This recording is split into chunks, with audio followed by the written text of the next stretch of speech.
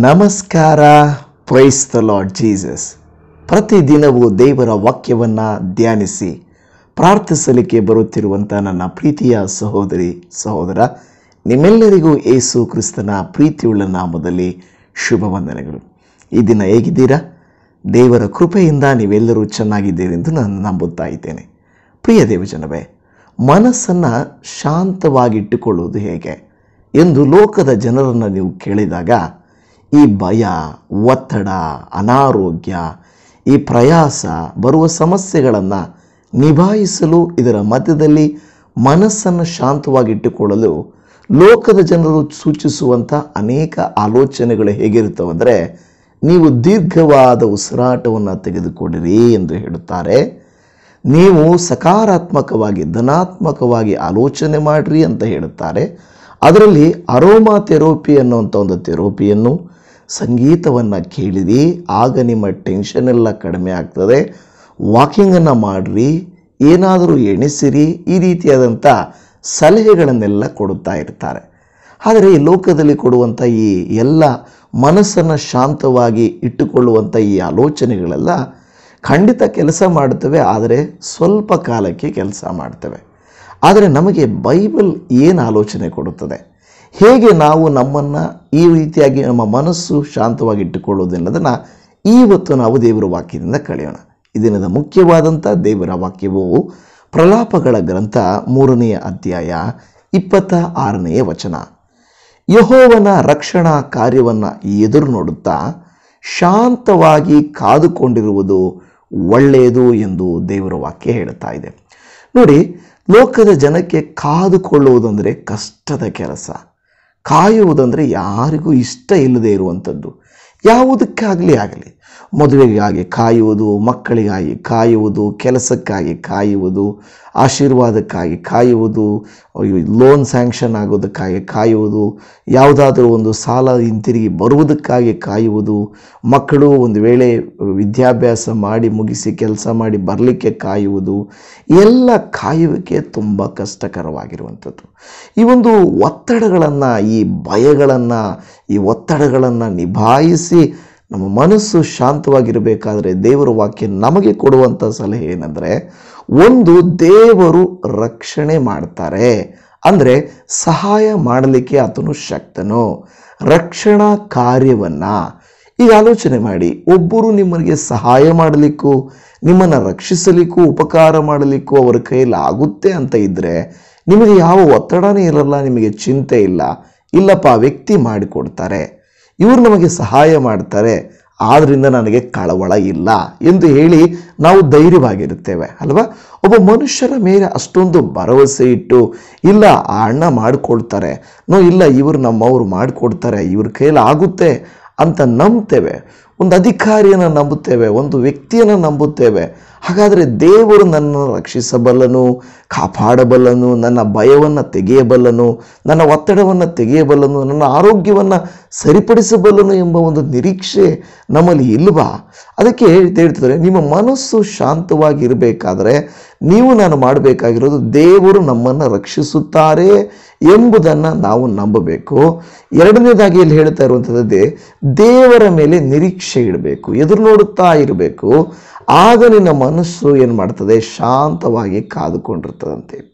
ಪ್ರಿಯ ದೇವಜನವೇ ಇವತ್ತು ದೇವರ ವಾಕ್ಯವನ್ನು ಆಲಿಸುತ್ತಿರುವಂಥ ನಿಮ್ಮ, ನನ್ನ ಜೀವಿತದಲ್ಲಿ ಈ ಒತ್ತಡದ ಸಂದರ್ಭಗಳಲ್ಲಿ ಲೋಕದ ಜನ ಏನು ಮಾಡ್ತಾರೆ ಗೊತ್ತಾ? ಜ್ಯೋತಿಷ್ಯ ಶಾಸ್ತ್ರಕ್ಕೂ, ಮಾಟ ಮಂತ್ರದ ಕೃತ್ಯಕ್ಕೂ, ಬೇರೆ ಯಾವುದೇ ವ್ಯಕ್ತಿಗಳ ಬಳಿಗೂ, ವೈದ್ಯರ ಬಳಿಗೂ, ಯಾವುದೋ ಒಂದು ಸ್ಥಳಗಳ ಬಳಿಗೂ, ಸ್ವಾಮೀಜಿಗಳ ಬಳಿಗೂ, ಗುರೂಜಿಗಳ ಬಳಿಗೂ ಒತ್ತಡದಲ್ಲಿರುವಾಗ ಏನು ಮಾಡ್ತಾರೆ? ಹೋಗ್ತಾರೆ. ರಾಶಿ ಫಲ ಕೇಳಲಿಕ್ಕೆ ಹೋಗ್ತಾರೆ. ಅದೆಲ್ಲದರಿಂದ ಅವರಿಗೆ, ಅವರು ನಂಬ್ತಾರೆ, ಅದು ನಮಗೆ ಸಹಾಯ ಆಗ್ತದೆ ಎಂಬುದಾಗಿ. ನಾನು ಅದನ್ನು ವಿರೋಧಿಸ್ತಾ ಇಲ್ಲ, ಯಾಕೆಂದರೆ ನಾವು ವಿರೋಧ ಮಾಡಲಿಕ್ಕಾಗಲ್ಲ. ಆದರೆ ಬೈಬಲ್ ಪ್ರಕಾರವಾಗಿ ನಾವು ನೋಡುವಾಗ ಎಲ್ಲ ಔಷಧಿಗಳಿಗಿಂತಲೂ ಎಲ್ಲ ಮನುಷ್ಯರ ಮಾತುಗಳಿಗಿಂತಲೂ, ಎಲ್ಲ ವ್ಯಕ್ತಿಗಳ ಆಲೋಚನೆಗಳಿಗಿಂತಲೂ ಈ ವಾಕ್ಯ ನೋಡ್ರಿ, ಕರ್ತನ ರಕ್ಷಣಾ ಕಾರ್ಯವನ್ನು ಎದುರು ನೋಡುತ್ತಾ ಶಾಂತವಾಗಿ ಕಾದುಕೊಂಡಿರುವುದಾದರೆ ನಮಗೆ ಒಳ್ಳೆಯದು, ನಡೆದೇ ನಡೆಯುತ್ತದೆ. ಖಂಡಿತ ಒಳ್ಳೆಯದು ನಡೀತದೆ ಪ್ರಿಯ ದೇವಜನವೇ. ನಾವು ಬೈಬಲಲ್ಲಿ ನೋಡುವಾಗ ಅನೇಕ ಜನರು ತಮಗೆ ಕಾರ್ಯಗಳು ನಡೆಯುವ ತನಕ ದೇವರಲ್ಲಿ ಕಾತುಕೊಂಡಿದ್ದರು. ಅದಕ್ಕೆ ಏಷಾಯನು ಒಂದು ಮಾತನ್ನು ನಮಗೆ ಎಚ್ಚರಪಡಿಸುತ್ತಾನೆ. ಏನಂದರೆ, ನಾವು ಏನು ಮಾಡ್ತೇವೆ ಅಂದರೆ, ಹದ್ದುಗಳಂತೆ ನೂತನ ಬಲವನ್ನು ಹೊಂದಿಕೊಳ್ಳುತ್ತೇವಂತೆ. ಹದ್ದಿನ ಸ್ವಭಾವ ಹೇಗಿರುತ್ತದೆ ಎಂಬುದಾಗಿ ನೋಡುವಾಗ ಹದ್ದು ತನ್ನನ್ನು ತಾನು ಕಾದುಕೊಂಡು ವೆಯ್ಟ್ ಮಾಡ್ತಾ ಇರ್ತದಂತೆ. ತನಗೆ ವಯಸ್ಸಾಗೋದಾಗ ಇನ್ನೇನು ನನಗೆ ಆಯಿತು ವಯಸ್ಸು ಅನ್ನುವಾಗ ಏನು ಮಾಡುತ್ತಂದರೆ ತನ್ನನ್ನು ತಾನು ಬೇರ್ಪಡಿಸಿಕೊಳ್ಳುತ್ತಂತೆ. ಬೆಟ್ಟಕ್ಕೆ ಏರಿ ಹೋಗುತ್ತಂತೆ ಗುಡ್ಡದಲ್ಲಿ ಕೂತ್ಕೊಂಡು ಕಲ್ಲಿನ ಬಂಡೆಗಳ ಥರ ಕೂತ್ಕೊಂಡಿರ್ತದಂತೆ. ಏಕೆಂದರೆ ಆ ಒಂದು ಕಲ್ಲಿನ ಬಂಡೆಗಳ ಹತ್ರ ಕೂತ್ಕೊಂಡು ಉಪವಾಸ ಮಾಡ್ತದೆ. ಮಾತ್ರ ಅಲ್ಲ, ಅದು ತನ್ನ ಕುಕ್ಕಿನಿಂದ ತನ್ನ ರೆಕ್ಕೆಗಳನ್ನು ಕಿತ್ಕೊಳ್ತದಂತೆ, ಕೆಲವು ಸಾರಿ ಬಂಡೆಗೆ ಒಡ್ಕೊಳ್ತದಂತೆ, ಈ ಕಿತ್ತು ಒಡೆದು ಎಲ್ಲ ತೆಗೆದಾಗ, ಹಳೆ ರೆಕ್ಕೆಗಳೆಲ್ಲ ಕಿತ್ತು ಬಿಟ್ಟಾಗ ಅದು ಉಪವಾಸದಲ್ಲಿದ್ದಾಗ, ಏಕಾಂತವಾಗಿದ್ದಾಗ, ಅದಕ್ಕೆ ಹೊಸ ರೆಕ್ಕೆಗಳು ಹುಟ್ಟುತ್ತವಂತೆ ನೋಡ್ರಿ. ಹೊಸ ರೆಕ್ಕೆಗಳು ಹುಟ್ಟುತ್ತವಂತೆ. ಆಗ ಏನು ಮಾಡುತ್ತೆ ಅದು? ಮತ್ತೆ ಹಾರಲಿಕ್ಕೆ ಸ್ಟಾರ್ಟ್ ಮಾಡುತ್ತಂತೆ. ಪ್ರೀತಿ ಜನವೇ ಇವತ್ತು ಕರ್ತನಲ್ಲಿ ನಾವು ಕಾತ್ಕೊಂಡಿದ್ರೆ ನಮಗೆ ಹೊಸ ಬಲ ಬರುತ್ತದೆ. ನೂತನ ಬಲವನ್ನು ಹೊಂದಿಕೊಳ್ಳುವಿರಿ. ನೀವು ಓಡಿದರೂ ಬಳಲುವುದಿಲ್ಲ, ನಡೆದರು ಅದರ ಓಡಿದರೂ ದಣಿಯುವುದಿಲ್ಲ, ನಡೆದರೂ ಬಳಲುವುದಿಲ್ಲ ಅಂತ ದೇವರು ವಾಕ್ಯ ಹೇಳ್ತಾ ಇದೆ. ಇವತ್ತು ಬಳಲಿ ಹೋಗಿದ್ದೀರಾ? ಎಷ್ಟೋ ವಿಚಾರಗಳಲ್ಲಿ ಏನು ಮಾಡಬೇಕು ಗೊತ್ತಿಲ್ಲದೆ, ಹೇಗೆ ಮಾಡಬೇಕು ಗೊತ್ತಿಲ್ಲದೆ, ಬಳಲಿ ಹೋಗಿದ್ದೀರಾ ಅಂತ ನಾನು ಅಂದುಕೊಳ್ತಾ ಇದ್ದೇನೆ. ಆದರೆ ನಿಮಗೂ ನಿಮ್ಮ ಮನಸ್ಸು ಶಾಂತವಾಗಿರಬೇಕಾ?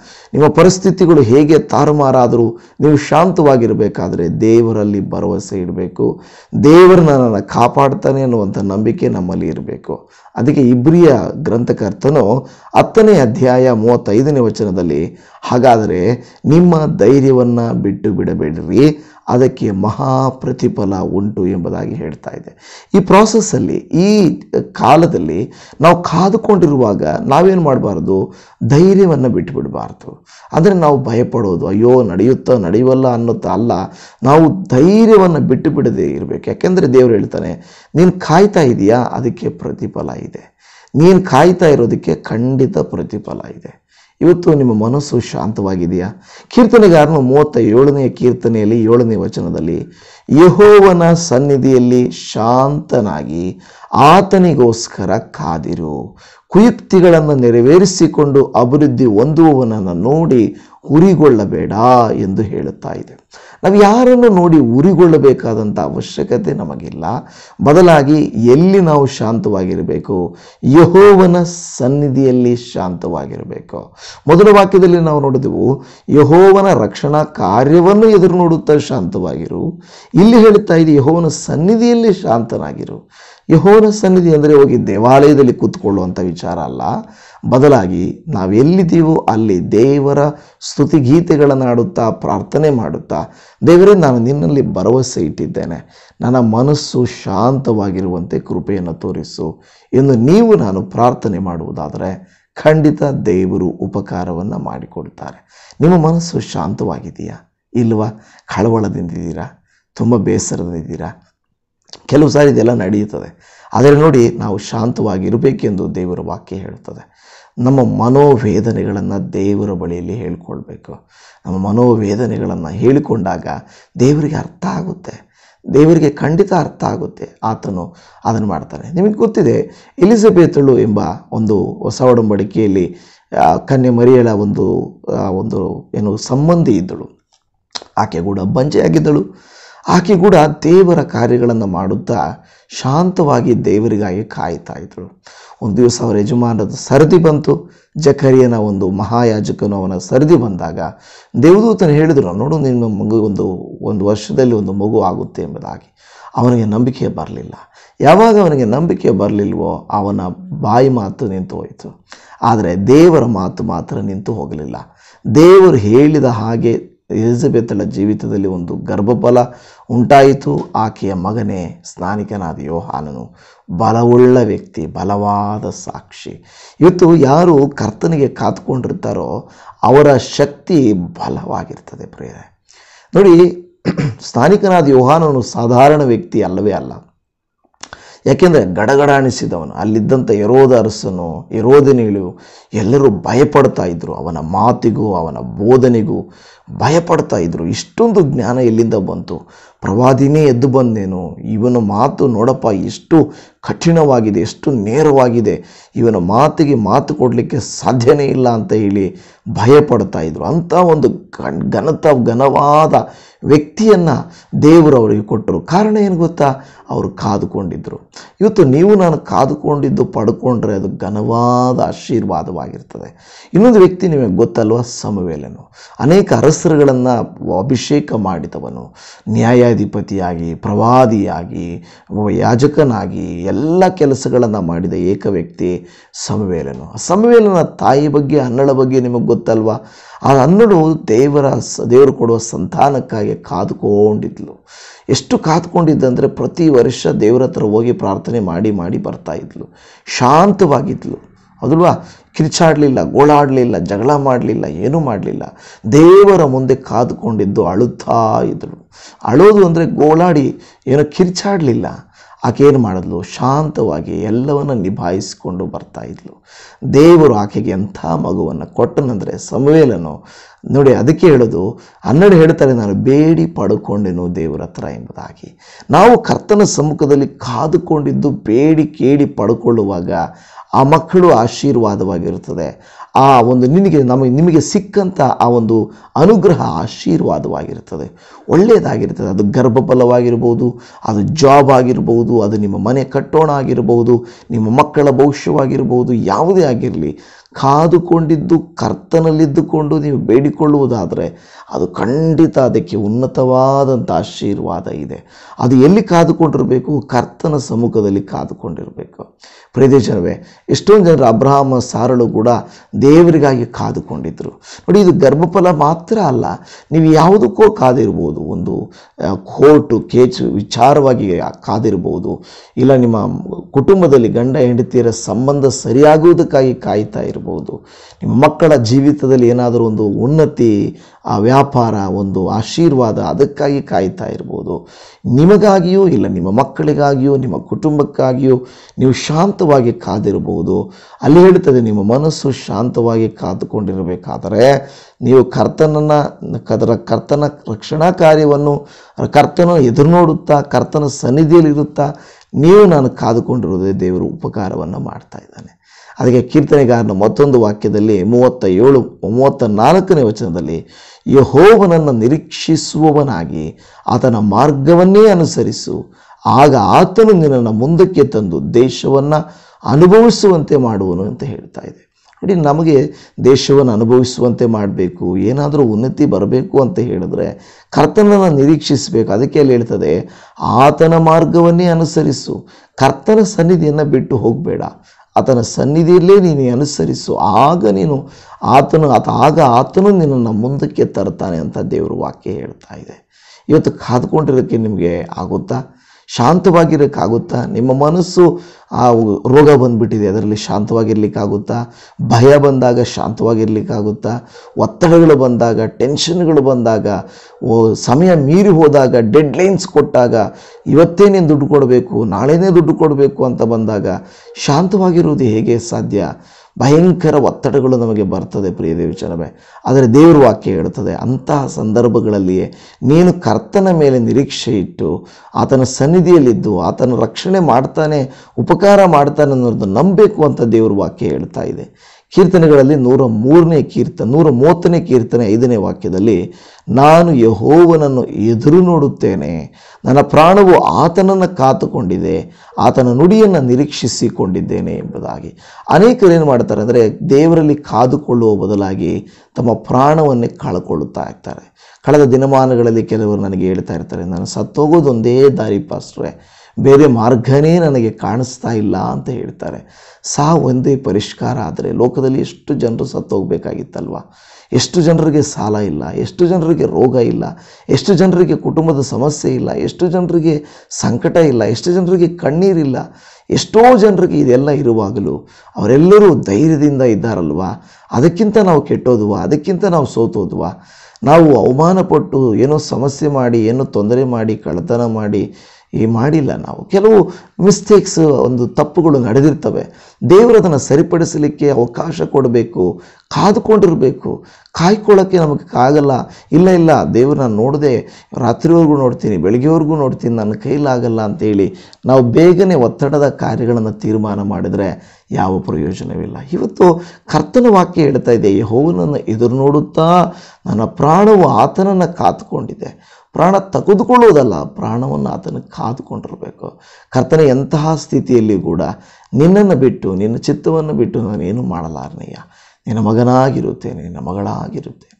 ನಿನಗಾಗಿ ಜೀವಿಸುತ್ತೇನೆ ಎಂದು ಹೇಳಿ ನಾವು ಜೀವಿಸುವುದನ್ನು ಕಲಿತುಕೊಳ್ಳುವುದಾದರೆ ಕರ್ತನು ಒಳ್ಳೆಯದು ಮಾಡ್ತಾರೆ. ಅನೇಕ ಯೌವನಸ್ಥರು ಆ ಎಕ್ಸಾಮ್ಸಲ್ಲಿ ಸೋತು ಇಂಟರ್ವ್ಯೂವಲ್ಲಿ ಸೋತು ಲವ್ ಫೇಲ್ಯೂರ್ಗಳಾಗಿ ಸೋತು, ಅಯ್ಯೋ ಎಂದು ಕಾದುಕೊಳ್ಳೋಕ್ಕಾಗಲ್ಲ. ಒಳ್ಳೆ ಒಳ್ಳೆಯ ಹೆಣ್ಣು ಸಿಗುವ ತನಕ, ಒಳ್ಳೆಯ ಗಂಡ ಸಿಗುವ ತನಕ, ಒಳ್ಳೆಯ ಜಾಬ್ ಸಿಗುವ ತನಕ ಒಳ್ಳೆಯ ಮನೆ ಕಟ್ಟುವ ತನಕ ಒಳ್ಳೆಯ ವಾಹನ ಕೊಳ್ಳುವ ತನಕ, ಉನ್ನತಿಗೆ ಬರುವ ತನಕ ಕಾಯುವುದಕ್ಕೆ ಕಷ್ಟವಾಗ್ತಾ ಇದೆಯಾ?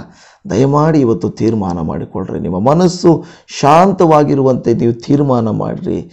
ಎಷ್ಟೋ ಜನ ರೋಗಿಗಳು ಔಷಧಿಗಳ ಮೇಲೆ ಡಿಪೆಂಡ್ ಆಗ್ತಾ ಇರ್ತಾರೆ, ಅಲ್ವಾ? ಎಷ್ಟೋ ಜನರು ಏನು ಮಾಡ್ತಾ ಇದ್ದಾರೆ, ಬೇರೆ ಬೇರೆ ಕಾರ್ಯಗಳ ಮೇಲೆ ಡಿಪೆಂಡ್ ಆಗ್ತಾ ಇರ್ತಾರೆ, ಆದರೆ ಅದು ಯಾವುದೂ ಕೂಡ ನಮಗೆ ಸಹಾಯ ಮಾಡೋದಿಲ್ಲ. ನಮಗೆ ಸಹಾಯ ಮಾಡೋದು ಕರ್ತನ ಪ್ರಸನ್ನತೆ ಮಾತ್ರನೇ. ಕರ್ತನ ಸಹಾಯ ಮಾಡ್ತಾನೆ ಅನ್ನುವಂಥ ನಂಬಿಕೆ ಮಾತ್ರನೇ. ಆದಿಕಾಂಡ ಗ್ರಂಥದಲ್ಲಿ ನಲವತ್ತೊಂಬತ್ತನೇ ಅಧ್ಯಾಯ, ಅದರ ಹದಿನೆಂಟನೇ ವಾಕ್ಯ, ಯಹೋವನೇ, ನಿನ್ನಿಂದುಂಟಾಗುವ ರಕ್ಷಣೆಯು ಯಾವಾಗ ಆಗುವುದೋ ಎಂದು ನಿರೀಕ್ಷಿಸಿಕೊಂಡಿದ್ದೇನೆ. ನಿನ್ನಿಂದ ರಕ್ಷಣೆ, ನೀನು ಕೊಡುವ, ನೀನು ರಕ್ಷಣೆ ಮಾಡುವಂಥ ರಕ್ಷಣೆ ಯಾವಾಗಾಗುತ್ತೋ ಅಂತ ನಾನು ಕಾತ್ಕೊಂಡಿದ್ದೇನೆ ಕಾತ್ಕೊಂಡಿದ್ದೇನೆ. ಪ್ರೇರ ಇವತ್ತು ನೀವು ಕಾತ್ಕೊಂಡಿದ್ದೀರಾ? ಯಾರು ಕಾದುಕೊಂಡಿರುತ್ತಾರೋ ಅವ್ರನ್ನ ಕರ್ತನು ಕೈ ಬಿಡುವುದಿಲ್ಲ ಖಂಡಿತ ಕೈ ಬಿಡುವುದಿಲ್ಲ ಎಂಥ ಪರಿಸ್ಥಿತಿಗಳಲ್ಲಿ ನೋಡ್ರಿ, ಕಾದುಕೊಂಡಿರೋರನ್ನ ಕರ್ತನು ಕೈ ಬಿಡಲಿಲ್ಲ ಅವರನ್ನು ಆಧರಿಸಿದರು. ಇವತ್ತು ನಾವು ನೋಡುತ್ತೇವೆ ಹೆಚ್ಕೆಯನ್ನು ಆ ಯಹೋಷಪಾಟನು ಈ ಅರಸರುಗಳ ಜೀವಿತದಲ್ಲಿ ನಾವು ನೋಡುವಾಗ ಅವರು ದೇವ್ರಿಗೆ ಕಾತ್ಕೊಂಡ್ರು ದೇವರೇ, ನೀನು ಅಲ್ಲದೆ ನಮಗೆ ಬೇರೆ ಮಾರ್ಗ ಇಲ್ಲ. ಏನು ಮಾಡಬೇಕು ನಮಗೆ ಗೊತ್ತಿಲ್ಲ. ನಾನು ನಿನ್ನಲ್ಲೇ ಕಾತ್ಕೊಂಡಿದ್ದೇನೆ ನಿನ್ನ ಮುಂದೆನೇ ಕಾತ್ಕೊಂಡಿದ್ದೇನೆ ಅರಸರುಗಳು ಯುದ್ಧಕ್ಕೆ ಬರಲಿ, ಅನಾರೋಗ್ಯವನ್ನು ನನ್ನ ಮುತ್ತಲಿ, ಏನೇ ಸಮಸ್ಯೆ ಬರಲಿ. ಹೌದಲ್ವಾ? ಎಚ್ ಕೆ ಮಹಾರಾಜನು ಹಾಗೆ ಹೇಳ್ತಾನೆ. ನನಗೆ ಏನು ಮಾಡಬೇಕು ನನಗೆ ಗೊತ್ತಿಲ್ಲಪ್ಪ. ನಿನ್ನ ಮುಂದೆ ಈಗ ಅವರು ಕಳಿಸಿರೋ ಪತ್ರ ನಾನು ಇನ್ನು ಮುಂದೆ ಇಡ್ತಾ ಇದ್ದೇನೆ. ಏನು ಮಾಡಬೇಕು ಗೊತ್ತಿಲ್ಲ. ನೋಟಿಸ್ ಕೊಟ್ಬಿಟ್ಟಿದ್ದಾರೆ. ಇದು ಕೊಟ್ಬಿಟ್ಟಿದ್ದಾರೆ. ಅನೇಕರಿಗೆ ನೋಟಿಸ್ಗಳು ಕೊಡ್ತಾರೆ. ಅನೇಕರಿಗೆ ಡೆಡ್ಲೈನ್ಸ್ ಕೊಡ್ತಾರೆ. ಅಂಥ ಸಂದರ್ಭದಲ್ಲಿ ಇಜ್ಕಿಯ ಮಹಾರಾಜನು ಏನು ಮಾಡ್ದ? ದೇವ್ರ ಮುಂದೆ ಹೋಗಿ ಆ ಪೇಪರನ್ನು ಇಟ್ಬಿಟ್ಟು, ದೇವರೇ, ಏನು ಮಾಡಬೇಕಪ್ಪ? ಅಂತ ಶಾಂತವಾಗಿ ದೇವ್ರ ಹತ್ರ ಕೂತ್ಕೊಂಡನು. ಯಹೋಷಪಾಟನು ಅಷ್ಟೇ ಯುದ್ಧದ ಸಮಯದಲ್ಲಿ ಏನು ಮಾಡಬೇಕಪ್ಪ ಅಂತ ಇಜ್ಕಿಯನ ಅನಾರೋಗ್ಯದ ಸಂದರ್ಭದಲ್ಲಿ ಯಹೋಶಿವ ಪಾಠನು ಯುದ್ಧದ ಸಂದರ್ಭದಲ್ಲಿ ದೇವರನ್ನು ಆಶ್ರಯಿಸಿದರು. ಇವತ್ತು ನನ್ನ ಪ್ರಿಯ ದೇವಜನವೇ, ನೀವು ನಾವು ಯಾರನ್ನು ಆಶ್ರಯಿಸ್ತಾ ಇದ್ದೇವೆ? ನಾವು ಕದಲದಂತೆ ನಮ್ಮಲ್ಲಿ ಇದೆಯಾ? ಮನಸ್ಸಿದೆಯಾ? ನಮ್ಮ ಮನಸ್ಸು ಶಾಂತವಾಗಿದೆಯಾ? ಕಳವಳಕ್ಕೆ ಅವಕಾಶ ಮಾಡಿಕೊಡ್ಬೇಡ್ರಿ. ಭಯಕ್ಕೆ ಅವಕಾಶ ಮಾಡಿಕೊಡ್ಬೇಡ್ರಿ. ದುಷ್ಟನಿಗೆ ಅವಕಾಶ ಮಾಡಿಕೊಡ್ಬೇಡ್ರಿ. ಯಾಕೆಂದರೆ ದೇವರಿದ್ದಾನೆ. ದೇವರು ಕೈ ಬಿಡೋದಿಲ್ಲ. ಮನುಷ್ಯರಿಗೆ ಸಹಾಯಕನು ದೇವರೇ ಹೊರತು ದುಷ್ಟನಲ್ಲ.